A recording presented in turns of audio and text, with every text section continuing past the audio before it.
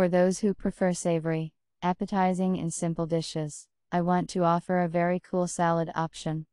The combination of flavors is really incredible. You definitely haven't tried this yet.